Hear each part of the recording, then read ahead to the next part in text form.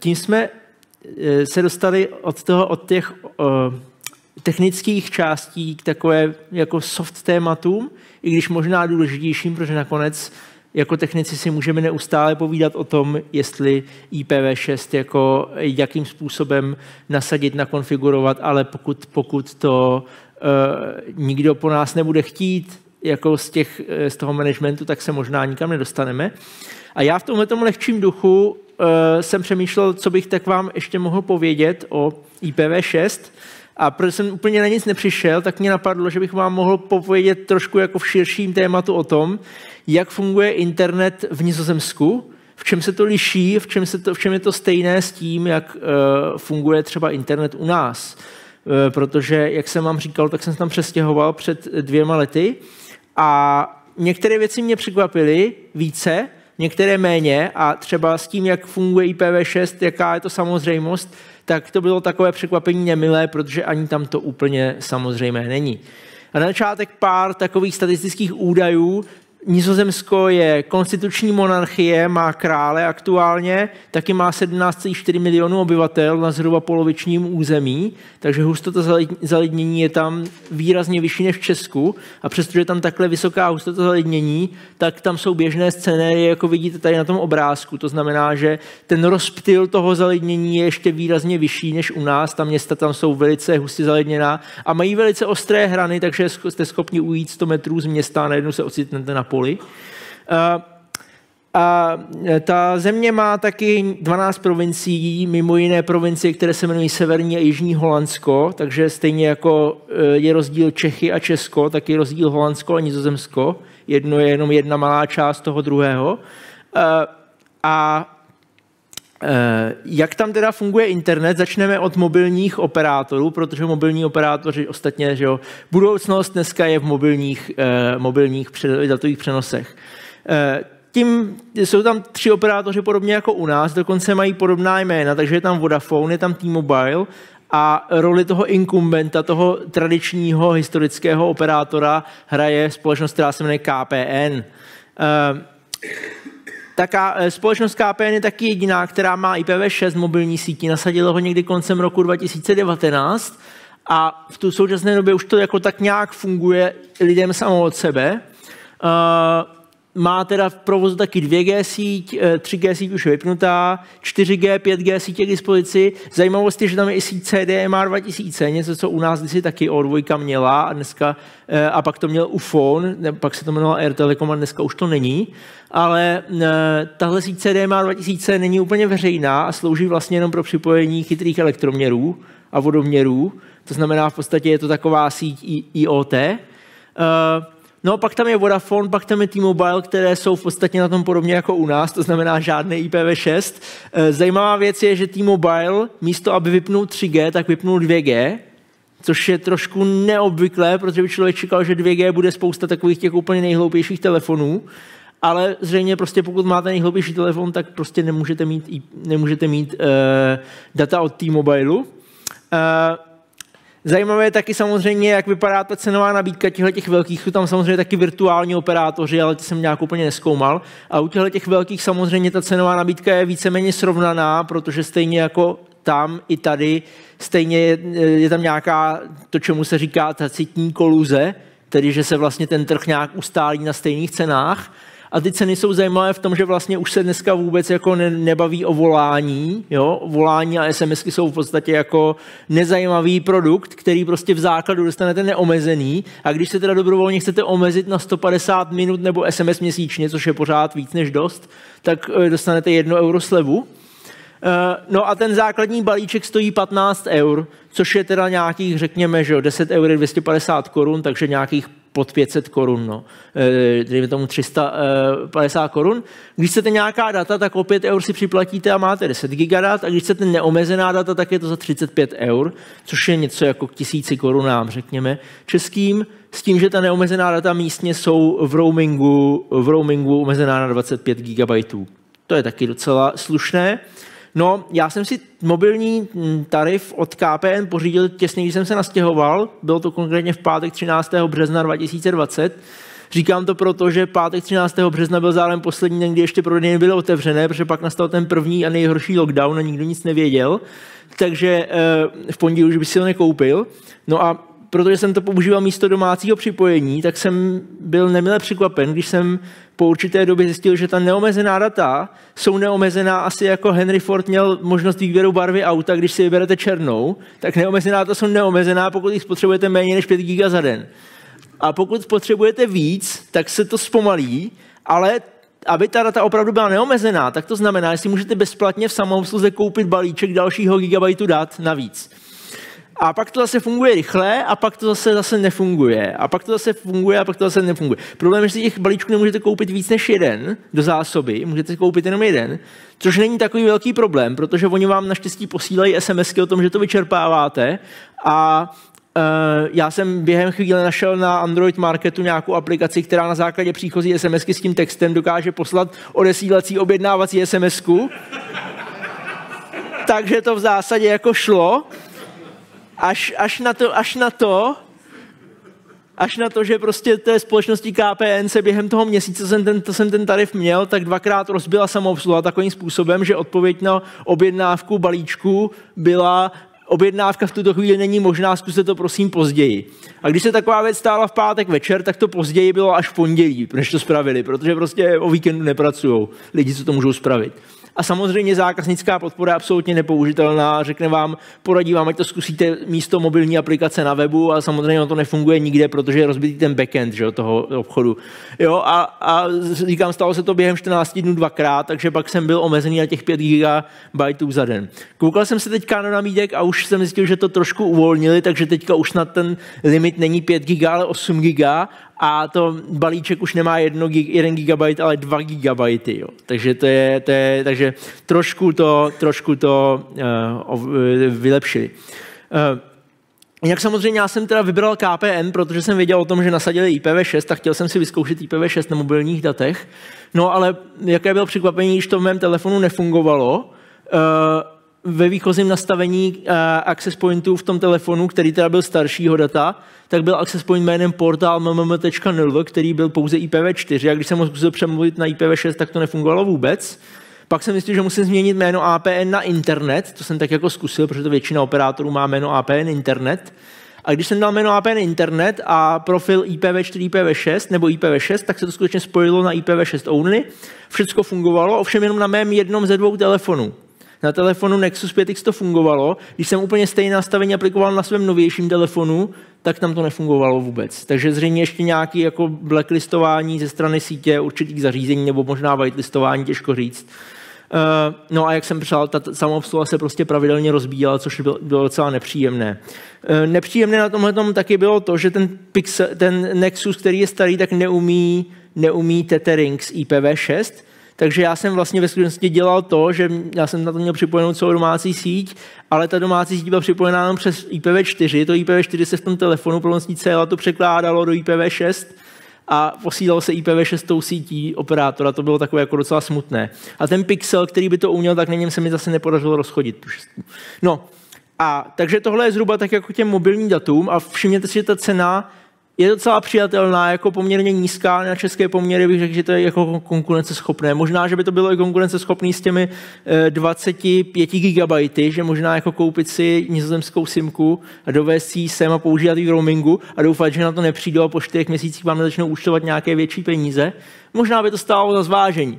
Eh, jak je na tom pevná internetová síť? Eh, ta je zajímavější hlavně v tom, že je dražší než mobilní. To znamená, pevný internet je dražší než mobilní internet a to je taky ten důvod, proč ten mobilní internet má tady ty omezení na 5 GB za den, která vlastně slouží k tomu, aby lidi nepoužívali mobilní internet místo pevného. Jo? Je to prostě evidentní důvod, proč. Protože prostě základní cena takového pevného připojení, řekněme kolem 50 eur měsíčně, to znamená nějakých 1500 korun, samozřejmě, jako já tady říkám ty koruny nějak tak pro orientaci, ono se to nedá úplně přepočítat, protože ta životní úroveň je trochu jinde, takže ceny potravin jsou taky jinde, že? takže jako je to všechno potřeba brát s rezervou, ale jenom tak jako pro orientaci. No, Další důležitá věc je, že v podstatě jako neexistuje taková věc jako bezdrátový ISP. Jo. Tam v podstatě jako ten trh z eh, poskytovateli připojení k internetu je v podstatě omezený na tu fyzickou infrastrukturu, která vám vede do bytu, což je prakticky telefonní vedení, koaxiální kabel, kabelové televize a nebo když máte štěstí, tak i optika. Jo, ale nic jiného není. To znamená, neexistují nějaké anténky, že by byly po střechách někde. Ono v podstatě, když se podíváte na Nizozemsko, tak tam neuvidíte nikde v podstatě žádné antény, protože, jak tady je na té druhé půlce slide napsáno, i televizi tam 90% populace přijímá nějakým kabelovým způsobem, to znamená, že v podstatě jako neexistuje, že by tam někdo jako používal třeba zemské vysílání a měl na střeše anténu. Jo? A takže v zásadě máte možnost pouze, pouze použít nějaké to vedení, které vám do toho bytu vede a e, máte možnost e, z toho, když použijete ten koaxiální kabel, který teda vede skoro všude, protože, jak jsem říkal, kabelovka je tam velmi populární, tak ale zase máte úplně v podstatě stejný problém jako v Česku.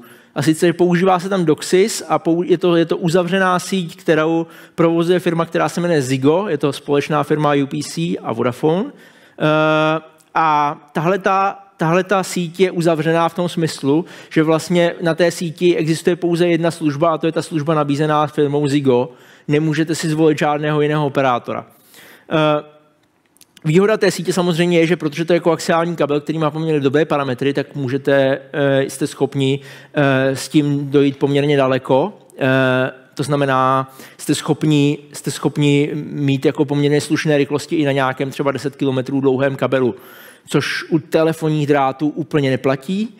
Eh, no a samozřejmě jako eh, telefonní vedení, na kterém běží DSL je druhá varianta, to provozuje KPN, ale tahle síť už je otevřená, to znamená, že tam je možné stejně jako u nás na síti Cetinu zřídit služby od různých operátorů, tak úplně stejně je to možné i v Nizozemsku. No a optické vlákno je samostatná kapitola, objevuje se tam čím dál častěji. Většinu té sítě má taky KPN, ale existuje i, existuje i e, vlastně jiní, jiní operátoři. E, no a ještě ty operátoři většinou nabízí kromě internetu i televizi, a telefon. A jak jsem říkal, tu televizi si většinou lidi kupují, protože to je v podstatě naprosto majoritní způsob přijímání televize.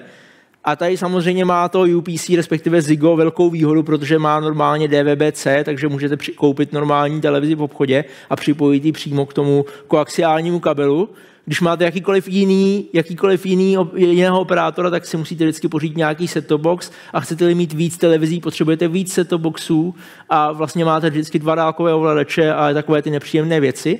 Zajímavé taky je, že jako televize je e, určující prvek pro výběr ISP pro spoustu lidí, protože prostě ne, není moc obvyklé, že by lidi měli televizi od jiného provozovatele než od, od svého ISP, to znamená takové ty OTT, over the top, televizní služby, kdy si koupíte internet od někoho a televizi od někoho úplně jiného, jsou na sobě nezávislé, tak v podstatě neexistují. No a pevné telefonní linky v zásadě, řekněme, dožívají. Když někdo touží pod pevné telefonní lince, tak jediný způsob, jaký dneska získat je, takže vlastně máte sipovou bránu, která je vestavená v tom modemu, který dostanete od operátora, takže prostě, ale jako opravdové telefonní vedení už, uh, už uh, prostě není, není možné zřídit. Tak, jak jsem říkal, Zigo, uh, myslím, že ten modem po pravé straně znáte velice dobře i z Česka, je to v podstatě to též, má to i ty stejné problémy. Jediný, jediný rozdíl proti Česku je v tom, že určitá část sítě kabelové má i plný dual stack, to znamená, že můžete mít nejenom DS Lite nebo IPv4 only, ale můžete mít i normálně plný dual stack, kde dostanete jednu veřejnou čtyřkovou adresu a 56 blok, což je tak nějak to, co bychom zhruba chtěli. Ale samozřejmě ty modemy mají svoje problémy, které jako je potřeba je pravidelně restartovat a takové věci. Občas něco zpomalují, co nemají a tak. No ale výhoda je, že teda za prvé je to dostupné i v nějakých starých budovách, kde není blízko nějaký předsunutý DSLAM, anebo je telefonní vedení špatné. A druhá výhoda je, že eh, máte v tom i tu televizi základní, protože prostě je to po jednom kabelu, jak má připojí k tomu kabelu, tak už vlastně můžete přijímat televizi, aniž byste za ní museli platit. Pokud byste chtěli jenom televizi, tak stojí 20 eur měsíčně, to je docela dost peněz. Mimochodem se tam neplatí žádný televizní poplatek, veřejnoprávní televize tam nějak jako žije z nějakých mandatorních výdajů státního rozpočtu, ale samozřejmě neznamená to, že by lidi neplatili televizi, protože všichni platí ten balíček těch televizních služeb, které jsou vlastně obsahují komerční televize a je to řádově těch 20 eur měsíčně. Uh, a jinak pokud, bych, pokud bychom chtěli, jako těch 50 eur je řekněme minimální cena za internet, pokud bychom chtěli gigabit, dostaneme se až někde k 80 eur měsíčně. Jo. Takže docela dost peněz. Tak, telefonní vedení, ta druhá varianta, jak jsem říkal, je to otevřená síť, kterou spravuje KPN. Uh, už dneska je to pouze XDSL, už vám nezřídí žádnou pevnou telefonní službu. Zajímavé na Nizozemsku je, že do každého bytu vedou dva telefonní páry, respektive čtyři dráty, přesně řečeno, jedna čtyřka což e, přímo otevírá možnosti pro bonding, tedy slučování dvou e, DSL kanálů pro jedné logické linky a skutečně je to možné udělat a můžete si takhle zdvojnásobit vlastně rychlost, ale za nějaký poměrně příplatek, zase asi 15 eur měsíčně řádově příplatek, za to, že máte dvě telefonní linky a moc se to jako... Někdy to funguje dobře a někdy třeba ne, protože když, ty, když, ty, eh, když někdy je nedostatek těch drátů a vedou ty dráty jako každý jinou cestou a mají třeba jinou délku, ta vedení, tak to prostě nefunguje dobře, jak jsem, jak jsem slyšel. Ta země je, nebo minimálně ta města jsou plná předsunutých DSLAMů, jsou takové veliké krabice, to jsem zjistil, takže jsem obcházel, protože jsem zjistil, že můj modem říkal, že můj DSLAM je 350 metrů vzdálený, tak jsem odkrokoval 350 metrů od svého bytu a hledal jsem kolem jakoukoliv hučící krabici, protože mi bylo jasné, že ten DSLAM musí mít aktivní chlazení. Takže jsem našel jedinou učící krabici a pak jsem to potvrdil, že to je skutečně ta věc. Já jsem to neotvíral, to není moje fotka.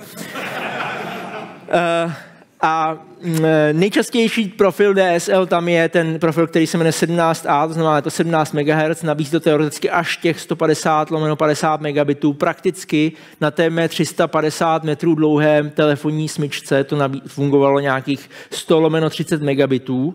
Výborná věc, která mě tam jako hodně potěšila oproti právě českému cetinu je, že vlastně tam už nebyl žádný další umělý shaping. To znamená, že když se mi ta DSL linka spojila rychlostí 100 lomeno 30, tak ta data po ní skutečně proudila tou rychlostí 100 lomeno 30. Nebylo to uměle zpomalené na těch 100 lomeno 10, třeba co cetin u nás dělal ještě hodně dlouho. Uh, no a pak samozřejmě ta nejlepší, co můžete mít, je uh, vlákno. Eh, optické vlákno se postupně zřizuje, v novostavbách je to běžná věc a v podstatě tam místo těch telefonních drátů. Ve starších budovách se to postupně jako doplňuje. Eh, je těch provozatelů asi tak několik desítek, asi řekněme 15. Eh, většinou majoritně je to zase nějaká ceřiná společnost, to je společnosti KPN.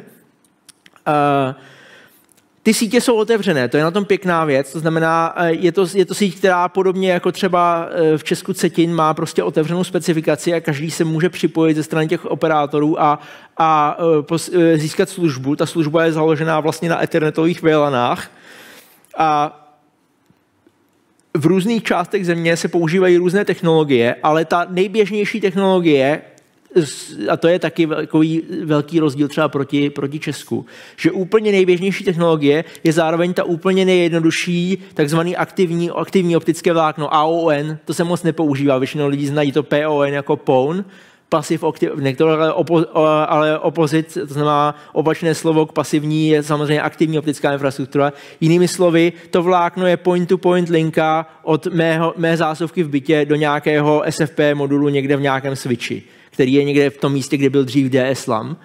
Eh, což je výhodné v tom, že to je nej vlastně otevřenější standard a v tom případě je koncovým bodem sítě přímo to optické vlákno s tím novým konektorem. Tohle je moje zásuvka v mém novém bytě a tam má na sobě zelený konektor, což jak jsem se dozvěděl, když jsem se nastudoval základy optiky, znamená, že to je konektor s eh, broušením APC, tedy Angular Physical Contact. Když je to modrý konektor, tak je to Physical Contact, tak to je důležité nemíchat barvičky, jinak se ty konce vláken poškodí ale jinak je to v zásadě velice jednoduchá, jednoduchá věc a e, můžete si v obchodě koupit SFP modul, který e, k tomu připojíte a správný, správný kabel se správnou barvičkou na tom konektoru a, a dostanete a, a prostě jste připojeni k té síti.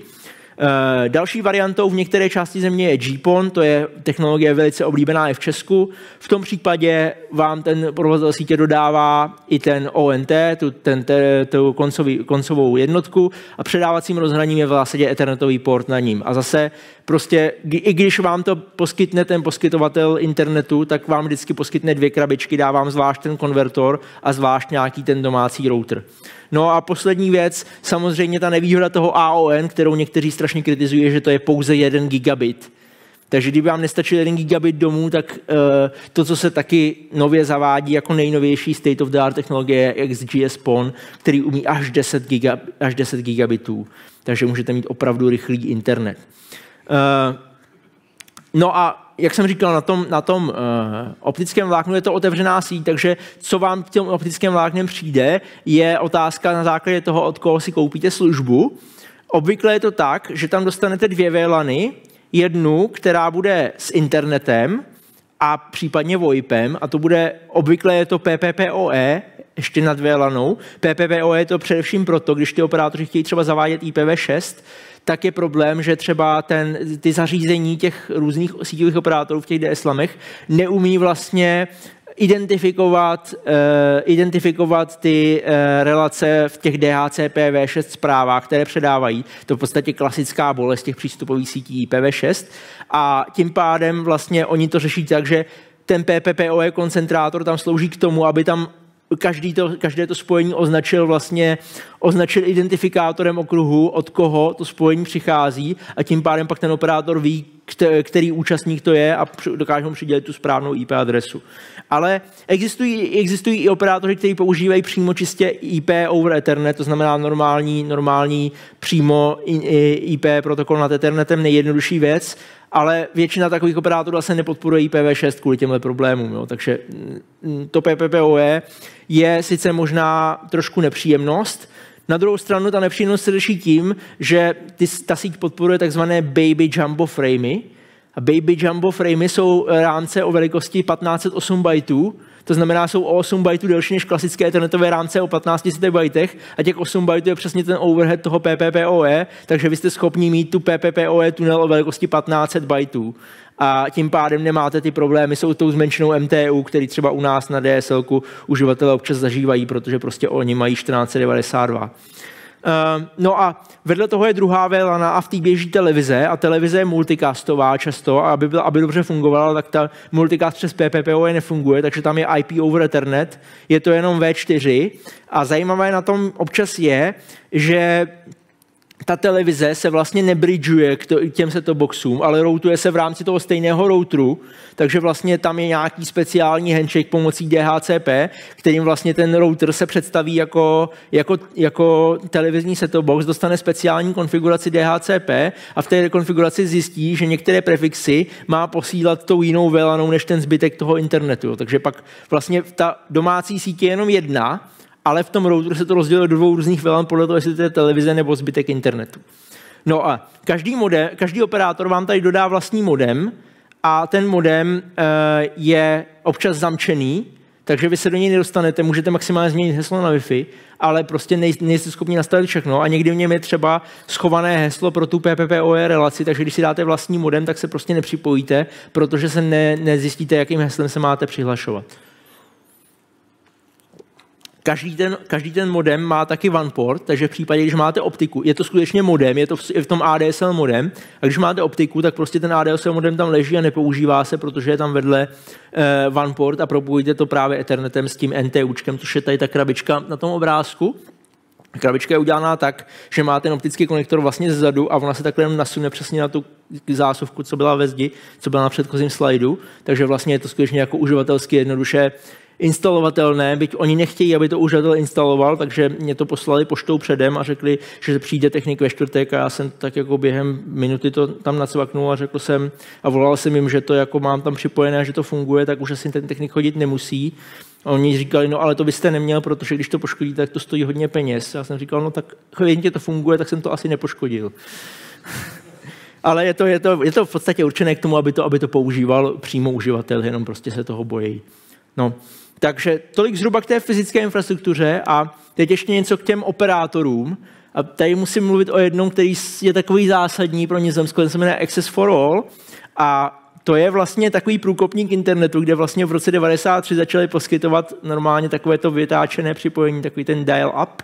Uh, a tehdy prostě požádali KPN jakožto operátora telefonní sítě, aby jim zřídil 1100 telefonních linek a oni kvůli tomu museli překopat Amsterdam, aby prostě položili nový telefonní kabel s 1100 páry a e, protože všichni tě chtěli připojovat prostě těmi modemy a v něj pro každý, na, na každý jeden modem u, účastníka potřebovali jeden modem u operátora. No a e, a postupně samozřejmě vyrostly, začaly nabízet další služby, ale vždycky jako nabízeli nějakou přidanou hodnotu. Je to zároveň taky ten nejdražší operátor teda, ale, ale prostě mm, je to taková ta firma ještě ze staré školy, která k tomu připojení nabízí e-mail, web hosting, shellový server, kam máte přístup jako uživatel, NTP servery a takhle dál. No a e, Zajímavé na téhle firmě bylo, že vlastně ta firma KPN, jakožto ten majoritní telefonní operátor, který v těch 90. letech ještě třeba nebyl vůbec jako nějak interesovaný v internetovém biznisu, tak prostě je už v roce 98 koupil. A s tím, že jako řekl, no ale my vás budeme provozovat, ale budete jako autonomní, vás jenom budeme vlastnit. No, pak se ukázalo, že to tak úplně není a vyvrcholilo to v roce 2018, kdy vlastně, kdy vlastně se majitel eh, KPN rozhodl, že prostě XS for All a další operátory prostě zruší, že, že, že je prostě zahrne pod svoji vlastní značku, protože vlastně vlastnit svého vlastního konkurenta nedává úplně smysl z nějakých obchodních příležitostí. Zvedla se zajímavá vlna odporu, Uh, takže tady vlastně vidíte nějaký protestní transparent, že XS for All musí zůstat. A tahle ta vlna odporu, která teda to nanesla k soudu, jestli teda to můžou udělat, soud řekl, že můžou, tak to nakonec udělali, ale to mě teda před pár měsíci odpojili od XS Foral připojili mě k KPN. Uh, No a v každém případě během této akce říkali, tak musíme udělat nějaký plán B. Plánem B byl crowdfunding. Vybrali během chvíle 4 miliony eur, pak to zastavili, protože řekli, že musí zjistit, co vlastně s těmi penězi budou dělat když to, tolik peněz si brali, no a řekli, no tak jo, tak si založíme vlastního operátora. Takže zase mě to tak jako inspirovalo, protože vím, že jsme tady v Česku na internetu taky řešili, když jsme zjistili, že vlastně Cetin třeba nabízí poměrně zajímavou velkou obchodní nabídku, ale prostě je, je těžké získat nějakého malou obchodního partnera, který by vám poskytl službu a odpovídající kvality. Jsme zjišťovali, jestli by to nějak jako vycházelo, třeba založit nějakou jako pobočku třeba VPS Free občanského združení, která by prostě provozovala jako internet na infrastruktuře Cetinu. Hmm. Tehdy nám to nevyšlo. Ale je potřeba si uvědomovat, že skutečně ten svět těch pevných, i pevného internetu v Nizozemsku a u nás je úplně jiný. V Nizozemsku se na tom evidentně dají vydělat nějaké peníze, protože ty nákladové části budou No dobře, lidské náklady budou dražší, ale třeba ty technické náklady na připojení někam, ty budou stejné po celém světě, rozhodně stejné v Česku jako v Nizozemsku. A prostě když se tady prodává připojení pevné za 300 korun a tam za 1500 korun, tak je to trošku rozdíl. No, takže prostě vznikl, vznikl, vznikl spolek nebo společnost jménem Freedom Internet, a tahle ta společnost, do ní přišli nějaký zaměstnan, zaměstnanci z toho Access for All a tahle ta společnost vlastně teďka spustila jako nového operátora úplně z ničeho a přesně navázala partnerství s těmi všemi uh, provozovateli optických vláken a Eh, nabízí vlastně to, co dříve nabízelo Access for All, to znamená nabízí, nabízí IPv6 adresy, nabízí IPv4 adresy veřejné, nabízí i pref, eh, nějaký malý blok IPv4 adres, pokud vám jedna adresa nestačí, můžete si koupit další a všechny tyhle ty další služby. Zároveň tu společnost oni udělali na schvál tak, aby se z žádných okolností nedala prodat. Má prostě tak komplikovanou právnickou strukturu, že prostě není možné tu společnost prodat a tím se vlastně brání proti tomu, aby se z ní stalo to samé, co se stalo s tím Access for All. No a když se teda dostaneme zpátky k tomu tématu té přednášky, jak je na tom IPv6 v Nizozemsku, tak pokud máte Zigo, tak když ohledneme od toho jako polofunkčního modemu, který se divně rozbíjí a, a tak, tak vlastně jako tu IPv6 řekněme máte, lomeno 56 prefix dostanete úplně stejně vlastně jako u nás. Je vidět, že tam to, to, to dědictví těch, eh, té společnosti jedné jako je. A podle toho, kde bydlíte, to může být buď to dual stack nebo DS Lite, nemůžete to vědět předem. To je bohužel takové jako nepříjemné. Uh, Když máte KPN, jak jsem říkal, KPN se vlastně předtím, než zmigrovalo ty zákazníky XS for tak se naučilo ty podobné věci. To znamená, že stejně jako XS for vám dá statický prefix lomeno 48, stejně jako XS for vám dá veřejnou IPv4 adresu a e, i spoustu dalších služeb, takže je to určitě použitelná varianta a tím, že je to ten základní operátor, tak vlastně to má mm, jako spousta lidí tím pádem má IPv6 jenom mimochodem, protože to prostě získala s tím, že to nechtěla. Je to prostě zapnuté ve výchozím stavu. Access for All si dneska už řídit nemůžete, to už, vám, to už je zmigrované vlastně a naopak se tam postupně opouští uh, účastníci a přep, jsou přepojováni do toho KPN. Freedom Internet, jak jsem říkal, je ten nový operátor, který samozřejmě dělá to samé, znamená statický prefix 48 a statickou IPv4 adresu.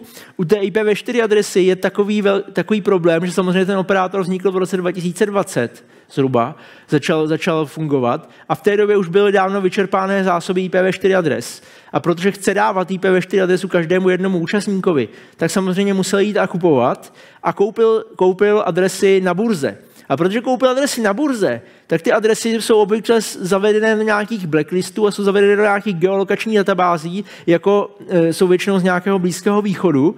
Takže pak e, na lidi mluví Google arabsky a e, ukazují si nějaké podivné reklamy cílené na arabské publikum.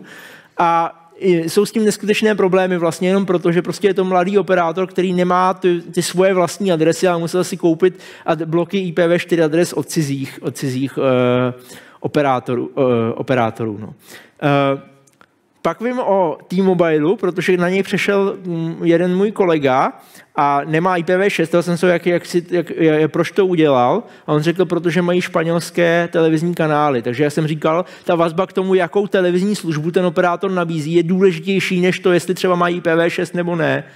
Jo? A další operátoři, těch operátorů na té optice je zhruba 60 a já jsem je tak proklikal a většinou oni nemají webové stránky na 600, což je jako, bych řekl, taková první, první informace o tom, jestli teda tu šestku umí nebo ne. Zigo, KPN e, eh, jsou ti největší v zásadě, protože ale pak jako Těžko říct, já nemám čísla o tom, kolik, eh, kolik, kterých, jako kolik má kdo zákazníků. T-Mobile má určitě spoustu zákazníků taky. Oni mají i nějakou vlastní optickou infrastrukturu, ale jako nejsem schopen říct a v podstatě jako pokud se bavíme o té infrastruktuře, tak je to jedno, protože ta vlákno třeba patří eh, té společnosti KPN Network bez ohledu na to, kdo to zrovna, kdo, kdo na tom poskytuje tu službu. Ale samozřejmě ten, kdo poskytuje službu, určuje, jestli to bude šestka nebo nebude. Uh, no, Mapa z Google vypadá celkem e, neoptimisticky, je tam nějakých 17%. Myslím, že je to dokonce světlejší zelená než ta zelená v Česku. Takže vidíte, že tady jsem si úplně moc nepomohl. Ale v mém jednotlivém případě jsem si pomohl, protože samozřejmě já mám teda teďka připojení od KPN, mám statický prefix od délce 48 domů, což mi bohatě postačuje i na všechny možné nad 6, a podobné věci. To je ode mě všechno. Máte někdo nějaký dotaz? Hm. Vidím dotazy na slajdu, tak jen pro vysvětlení. KPN je v nule něco jako u nás býval Telekom, Moloch se zvýšenou vnitřní neuspořádaností. Ano, dá se to tak říct. Je to, je to incumbent, se tomu říká odborně. Že? Prostě ten, ten, eh, to, co vzniklo z toho původního monopolního telekom, telefonního operátora. Podle rozhodnutí Evropského soudu má uživatel možnost volby vlastního zařízení. Jak je to v případě modemu, kterého neznám PPPoE heslo? No, tak to by bylo potřeba zjistit, jaké je přesně rozhodnutí Evropského soudu, protože já vím jenom o nějaké evropské směrnici, kde je napsáno v preambuli, že by uživatel měl mít právo uh, vlastního zařízení. A vím, že to je implementované v Německu, kde skutečně v Německu funguje funguje eh, možnost volby zařízení, a to i na kabelové síti, ale zároveň, že to funguje jenom v Německu. Eh, takže jestli to je jako nařízené, tak evidentně tohle nařízení nikdo nevymáhá, protože prostě v jiných zemích to není. Ale bavil jsem se s okolností před třemi týdny na Ripe Meetingu se zástupci firmy AVM, což je ta německá firma, která vyrábí tyhle krásné Fritzboxy což jsou jako velmi populární v Německu, speciálně velmi populární modemy, protože jsou takové, jako mají spoustu funkcí. Nejsou sice úplně otevřená, nemáte tam ruta, ale mají spoustu funkcí, které běžné domácí modemy nefungují a hlavně fungují dobře. A tato společnost AVM teďka nabízí Fritzboxy nejenom na ADSL nebo VDSL, kde začala, ale mají i Fritzboxy pro uh, DOCSIS, ale ten funguje v Německu, protože v Německu vám to musí připojit, nikde jinde vám to nepřipojí. A mají i Fritzboxy pro optiku, a to mě překvapilo, protože mají normálně uh, Fritzbox, který má SFP port na sobě a, a přímo AVM vyrábí SFP moduly, které jsou jak pro aktivní optiku, tak pro GPON, tak pro XGS-PON, což jako speciálně u toho GPONu vím, že česká zkušenost je, jakmile má někdo doma GPON, tak v podstatě není cesta, jak se zbavit toho operátorem dodávaného zařízení, protože prostě GPON je síť, která prostě vyžaduje registraci těch zařízení a autentizaci a prostě pokud, eh, pokud majitel eh, té sítě to neschválí, tak to zařízení prostě nebude fungovat. Tak jsem se na to speciálně ptal v té spole- eh, na tom stánku té společnosti AVM a oni říkali, no, že tohle je vlastně vyjednání, že oni jako začínají tím, že mají ty produkty, aby říkali, podívejte se, my tady jsme a chceme prodávat prostě naše GPONové SFPčka ale potřebujeme prostě, aby se někdo domluvil, že jako, že jako nám to tam zapojí do té sítě. No. Takže asi tak k téhle otázce. Ještě se tam je nějaká otázka? Tamhle nahoře můžu poprosit mikrofon?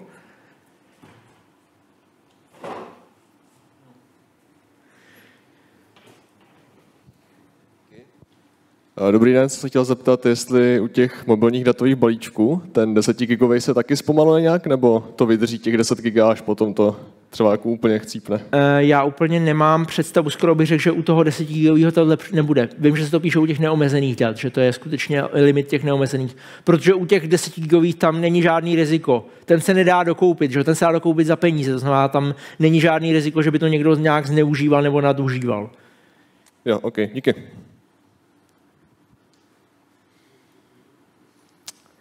Občas bývá problém s routingem jitter shaping. Máš nějakou zkušenost s tím? Uh, nemám. Uh, když, jsem byl, když jsem měl DSL uh, linku, VDSL linku, tak skutečně občas byly výpadky ve smyslu, že z ničeho nic prostě ta linka začala mít nějaký paket loss, nefungovala dobře. A zkoušel jsem to reportovat, ale žádný problém neobjevili a časem ty problémy zmizely.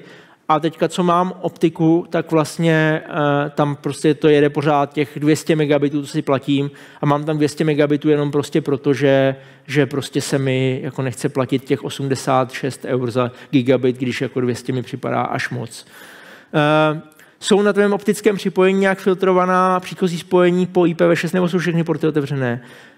Nejsem si jistý, jestli úplně všechny, možná je tam nějaké blokování na takové ty vykřičené porty jako 25 pro SMTP, ale v každém případě, ne, nebo ne, v každém případě já jsem žádný zablokovaný port nepoznal, mám tam samozřejmě normálně provozuju, provozuju třeba webkameru na tom a, a, a funguje to, jo. takže to, takže můžu se ostatně zkusit podívat, jestli se mi to povede. Schválně, jo, to je ten generál efekt, když, když, eh, jo, když nikdo Teď musím zjistit, na kterou stranu je to plátno. Tady? Jo. Tak takhle vypadá moje Raspberry Pi s webkamerkou. Tady možná jednou za čas projede vlak, nebo tady jede nějaký auto, takže vidíte, že to je živý obrázek. Tak to je po IPv6, do mojí domácí přípojky. Takže toto, takže, takže jako rozhodně žádný problém s tím není. Tak jo, díky moc a